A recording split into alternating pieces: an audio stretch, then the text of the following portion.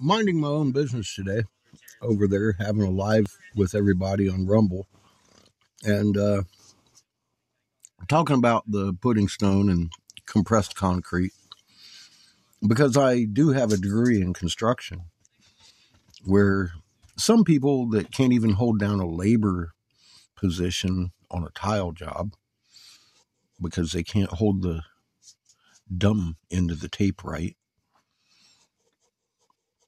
decide they want to challenge my knowledge of pressure treated concrete try googling it because uh, it doesn't exist uh, uh, mm.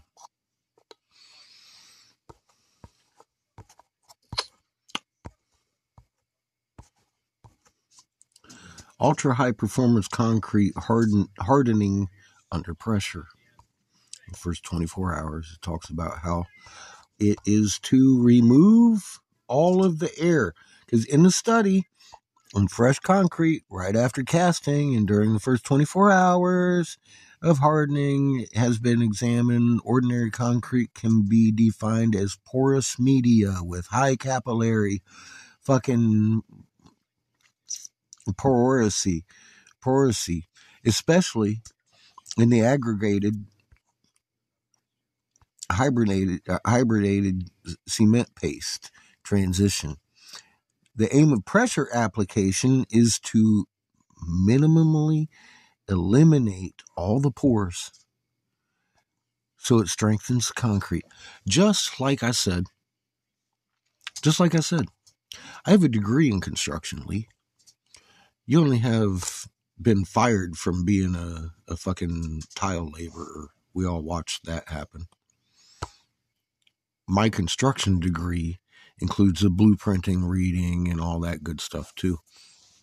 I know every aspect of construction pretty well. I know how pressure treated concrete removes the air from it and makes it much, much stronger. It can handle 30,000 pounds rather than 3,000. Um, again, your best efforts proving anything I've ever said wrong are just like this.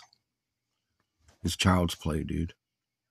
If anybody had a fucking brain on their head, they'd be able to look it up. Look it up yourself. I just showed you where to find it, Lee.